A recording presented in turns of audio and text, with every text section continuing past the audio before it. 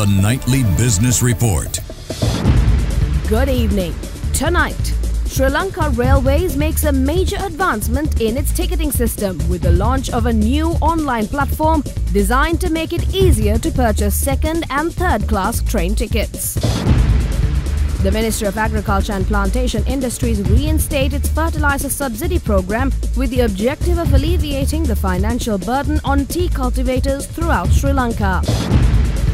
The negative sentiment at the Colombo Stock Exchange continues into its second week, with today's trading session concluding the market in decline. And Australian employees can now disregard work emails and calls due to a new right to disconnect law aimed at reducing such intrusions into their personal lives. From Studio 24, here's Anuradhi Vikramasinghe. A very good evening and thank you for joining us. Sri Lanka Railways has introduced a significant development in its ticketing system by launching a new online platform aimed at enhancing the convenience of purchasing second and third class train tickets. The newly unveiled website named pravesha.lk represents a major advancement in the modernization of the railway ticketing process. Designed to be highly user-friendly, Pravesha.lk is accessible from both computers and mobile devices, providing a seamless experience for passengers. The platform offers a straightforward three-step process to purchase train tickets online. Once you have completed your ticket purchase, the system will automatically send your electronic ticket to the mobile phone number or email address that you have provided during the transaction. Each ticket will be uniquely assigned to the specific journey and passenger and will include a separate electronic ticket along with a unique QR code for easy validation. This new digital ticketing system offers several advantages, including the ability to receive and store your tickets electronically, thus eliminating the need for physical tickets. The unique QR code simplifies the boarding process, allowing for quicker and more efficient validation of your ticket at the station. The Ministry of Agriculture and Plantation Industries has reinstated its fertilizer subsidy program with the objective of alleviating the financial burden on tea cultivators throughout Sri Lanka. This renewed initiative is designed to address the escalating costs associated with essential agricultural inputs and to support the tea industry, which plays a crucial role in the country's economy. As a part of the revamped subsidy program, the ministry has implemented a significant price reduction for five specific types of fertilizer that are produced by the state fertilizer company. Under the new pricing structure, the cost of a 50 kg bag of tea fertilizer has been lowered to 4000 rupees. This substantial reduction in price is aimed at easing the financial strain on tea growers, allowing them to manage their operational costs more efficiently and improve their overall profitability. The types of fertilizer that have been included in this price reduction initiative are the T200, T750, U709, U834 and T65. The subsidy program has been backed by a total investment of 2400 million rupees which has been fully funded by the Sri Lanka Tea Board. Minister of Agriculture and Plantation Industries Mahinda Amaraweera emphasized that the entire cost of this program is being covered by the Tea Board, ensuring that no government funds are being utilized. This approach reflects a commitment to supporting the tea industry through targeted financial measures while maintaining fiscal responsibility. A leading entrepreneur from the People's Republic of South Korea, Tong Jo Moon, met with Prime Minister Dinesh Gunawardena at the Temple Trees in Colombo recently and expressed willingness to invest in the energy and agriculture sectors.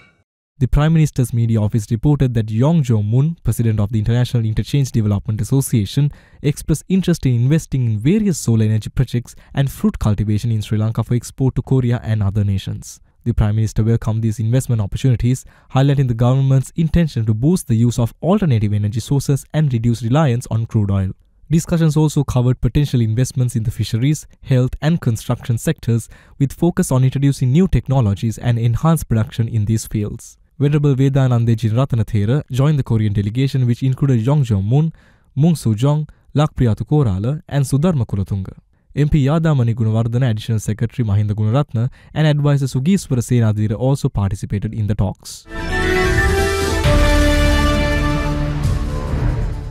The Hambantota International Port has experienced a substantial increase in volumes, with a 40% growth recorded this year to date. The port's commercial and marketing division says the growth is expected to reach 50% by the year end. The impressive performance and strategic growth of the port in 2024 demonstrates the Hambantota International Port Group's expertise in networking and marketing, managing port operations, as well as the HIP's ability to effectively handle rising volumes. This achievement not only showcases the port's effectiveness, but the HIPG's commitment to its continuous development in terms of increased efficiencies, strategic investments in infrastructure and services. Significant growth has been noted in gas, marine services and container segments, solidifying Hambantota Port's position as a key player in the maritime market. Sri Lanka Tourism Promotion Bureau, in collaboration with the Sri Lankan Embassy in Seoul, South Korea, arranged a warm welcome for the JTBC Media Group, which is a popular media group in South Korea which caters to all audiences and has a wide media coverage across the world. The group, consisting of eight members, recently arrived in Sri Lanka for a tour in order to promote the main attractions, culture, and cuisine of the country. They were warmly welcomed at the Bandaranaike International Airport on their arrival by the TIC officials and the Sri Lankan Tourism Promotion Bureau and also received souvenirs as a memory of their visit. They also selected Sri Lanka this time in order to capture beauty shots of the island for their new reality program Extreme Tour which includes a popular Korean celebrity talking to the audience on a tour of a new destination. It was launched recently and hopes to release their latest episode on Sri Lanka next month. JTBC is Korea's leading TV channel which was founded in 1963 and has gained worldwide recognition, producing programs such as Newsroom and Morning and Crime Chief. This promotional effort done by the JTBC Media Group and SLTPB will convey Sri Lanka's uniqueness as a travel destination across the world and attract more Korean tourists to the country. Let's take a short commercial break now. Updates from the stock market right after this. This is the Nightly Business Report.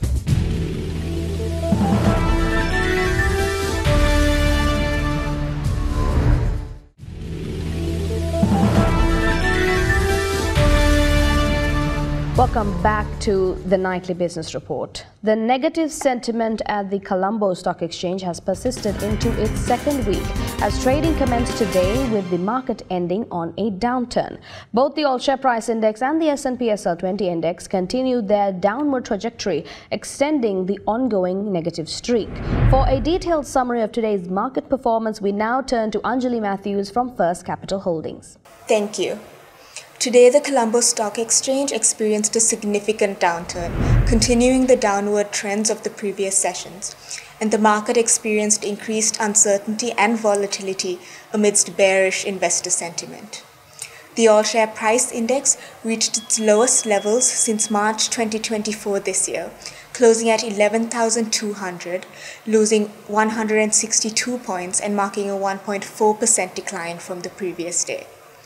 And similarly, the S&P SL20 index also experienced a sharp decline, closing at 3,189, losing 65 points from the previous day and marking a 2% decrease from the previous day.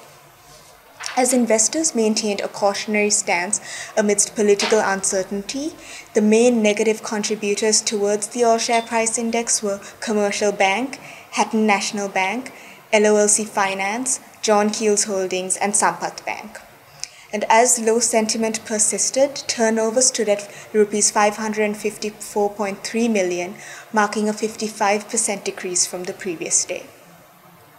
The top gainers of the day include Industrial Asphalts, Tess Agro, and EML Consultants, while the top losers of the day include Waskaduwa Beach Resort, Asia Asset Finance, and Exterminators PLC. Will this negative streak continue into the upcoming week or will there be a turnaround? To get the forecast for the days ahead, we now connect with Dimantha Matthews from First Capital Holdings. Thanks. So the market saw a sizable decline today, and uh, going forward, also we think uh, that kind of a uh, selling pressure uh, is likely to be there uh, going forward as well uh, investors seem to be uncertain due to the current environment that is there in the market with the political and policy level uncertainty that has arisen. So, uh, with that, uh, we saw earnings uh, being released over the last two weeks, and the results of most companies have been very strong. However, despite those results, the market did not really react uh, for those results. And uh, with the uncertainty market has been having a bit of selling pressure. So going forward also we think uh, turnover levels are likely to be slightly onto the uh, lower side. Uh, though uh, this is also the month end week uh, rather than the month end, uh, there's likely to be a bit of selling pressure because of the uncertainty uh, that is there in the market. However, note that there could be uh, bargain hunters who will on and off uh, come into the market when prices are very attractive, uh, making the index a bit volatile. Gold prices fell slightly in Asian trade today but remained in sight of record highs last week as a prospect of lower U.S. interest rates battered the dollar and presented a higher outlook for metal markets. Spot gold fell 0.1% to $2,509.88 an ounce, while gold futures expiring in December fell 0.1% to $2,545.10 an ounce. Spot prices hit a record high of $2,532 $2.05 an ounce just last week. Gains in the yellow metal came as the dollar sank to a 13-month low amid growing conviction that the Fed will begin trimming rates in September. The prospect of lower rate bodes well for gold and other precious metals given that it reduces the opportunity cost of investing in non-yielding assets. Oil prices rose in Asian trade today, extending a rebound from the prior session as media reports showed no progress towards an Israel-Hamas ceasefire, while hostilities in the region persisted. Brent oil futures expiring in October rose 0.8% to $79.59 a barrel, while West Texas Intermediate crude futures rose 0.6% to $75.45 a barrel. Oil markets were also buoyed by optimism over lower U.S. interest rates after comments from Federal Reserve Chair Jerome Powell cemented expectations for a September cut. Persistent instability in the Middle East saw traders attach some risk premium to oil amid bets that a spillover of the Israel-Hamas conflict could destabilize oil production in the crude-rich region. The Sri Lankan rupee has appreciated slightly against the US dollar at commercial banks in Sri Lanka today compared to last week. At Commercial Bank, the buying rate has reduced from 295 rupees and 43 cents to 294 rupees and 19 cents, while the selling rate has dropped from 305 rupees and 25 cents to 304 rupees. Here's an update on the other currency rates.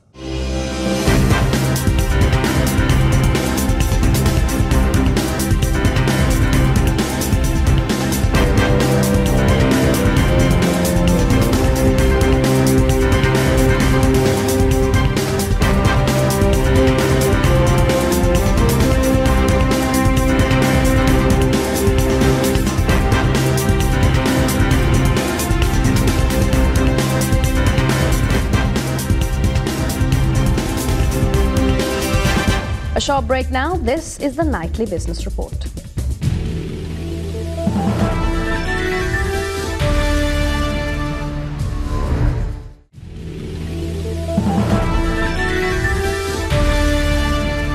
Welcome back to the Nightly Business Report. ProFood, ProPack, AgBiz and Knowledge Hub 2024 exhibition organized by the Sri Lanka Food Processors Association together with Lanka Exhibition and Conference Services kicked off on the 23rd of August in Colombo. The most eagerly awaited food industry exhibition was held until yesterday at the Sirimavo Bandaranaike Exhibition and Convention Centre. The event was proudly endorsed and supported by the Ministry of Industries, the National Agribusiness Council and the Institute of Food Science and Technology in Sri Lanka.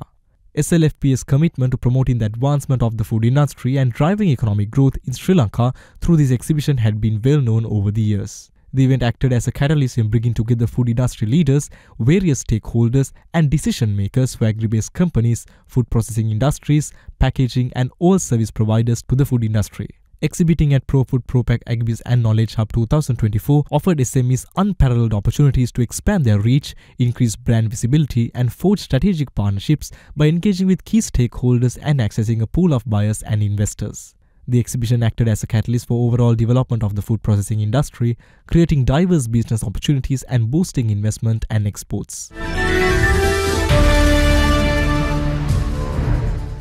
Seylan Bank's Signfluencer campaign aimed at empowering the hearing and visually impaired made a significant impact at its launch by spotlighting the need to acknowledge those who are hard of hearing. As a catalyst for growth, the next phase of Seylan Bank's campaign will lend its support to the Ceylon School for the Deaf and Blind in Ratmalana. The goal was to empower the school's visually impaired students by enhancing their computer literacy skills.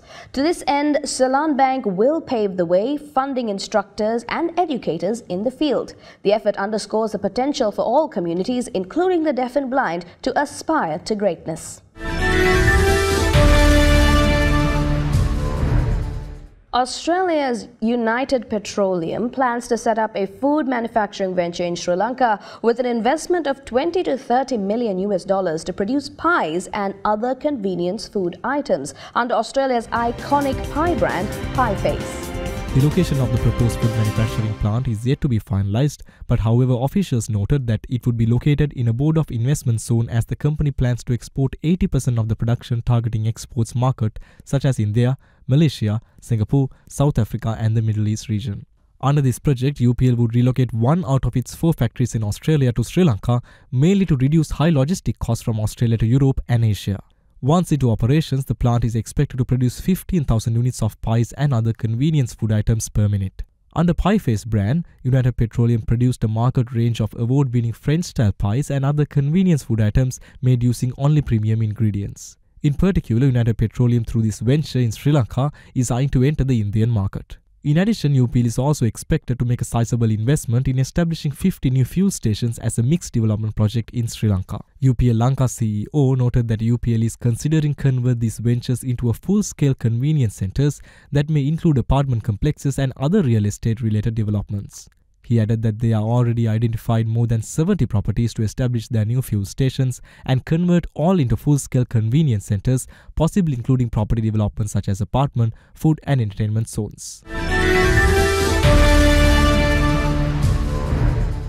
Deloitte Sri Lanka proudly announced its recent accreditations as an approved employer for professional and trainee development by the Association of Chartered Certified Accountants, also known as ACCA. This prestigious recognition acknowledges organizations that demonstrate high standards in employee training and development, aligning with ACCA's global benchmarks for excellence in learning and professional growth. As an ACCA approved employer, Deloitte Sri Lanka will benefit from various advantages including opportunities to access exclusive ACCA resources and enhance support for employee development programs. Mr. Vajira Lakdeva, the partner for audit at Deloitte Sri Lanka, stated that they are, they are honored to receive this accreditation from the ACCA and this recognition is a significant milestone, reinforcing their commitment to providing exceptional training and development opportunities for its employees. Let's take a short commercial break. This is the Nightly Business Report.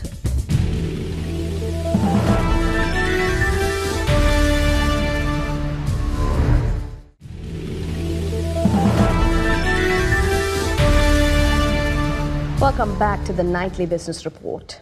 Asian stocks were a mixed bag today, taking some support from expectations of lower U.S. interest rates, although Japanese markets retreated amid pressure from the yen and bets on rate hikes by the Bank of Japan.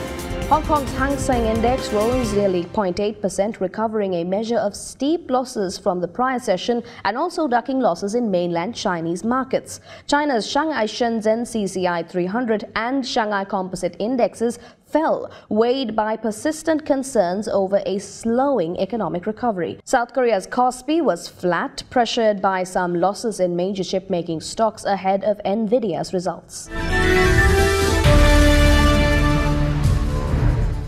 Australia's employees can now ignore work emails and calls thanks to a new right to disconnect law designed to curb those and other intrusions into personal lives. The new rule, which came into force today, means employees, in most cases, cannot be punished for refusing to read or respond to contacts from their employers outside work hours. In Australia, workers are now legally protected if they ignore their bosses after work hours. A new right to disconnect law came into force on Monday, designed to protect their personal time from work emails and calls. The rule ensures that employees, in most cases, cannot be punished for refusing to read or respond to contact from their employers outside of working hours. And for bosses or companies that insist, authorities can intervene and even slap them with a several thousand dollar fine. Supporters argue the law gives workers the confidence to stand up against the steady invasion of their personal lives by work emails, texts, and calls. Australians worked on average 281 hours of unpaid overtime in 2023, according to a survey by the Australia Institute think tank. They valued that time as worth some 88 billion US dollars. With this law, Australia joins about two dozen countries with similar protections, including France, which introduced its own regulations in 2017. While the law aims to support better work life balance, it also recognises the need for emergency contact, allowing employers to contact staff when necessary. Nestle shares tumbled early on Friday following the abrupt departure of CEO Mark Schneider from the world's biggest food maker and his replacement by company veteran Laurent Freixe. Nestle shares tumbled 4% early Friday. Investors were spooked by the sudden departure of CEO Mark Schneider from the world's biggest food maker. The surprise exit was announced late Thursday following a board meeting that ended his near eight year reign. Investor confidence in Schneider had waned over the last 15 months, but markets were still shaken by his exit. The company's shares have been on a downward slide since May last year after a series of mishaps, earnings misses, and guidance downgrades. Nestle has trailed rivals like Danone and Unilever in recent quarters, and critics say the firm has been too reliant on price rises. They argue this has hit sales volumes as cash strapped customers turn to cheaper brands. Schneider is replaced by 62 year old company veteran Laurent Freixe, he faces rebuilding market share and increasing sales volumes in a tough market. The new CEO immediately pledged to focus Nestle on organic growth rather than acquisitions. Freixe led Nestle's European business in the wake of the global financial crisis. Most recently, he was head of the firm's Latin America zone, which saw strong growth on his watch. And that marks the end of the first bulletin of the nightly business report for this week. We'll see you again tomorrow with the latest happenings across the business globe. Until then, I'm Anuradhi Vikramasinghe. Thank you for watching. Have a great night.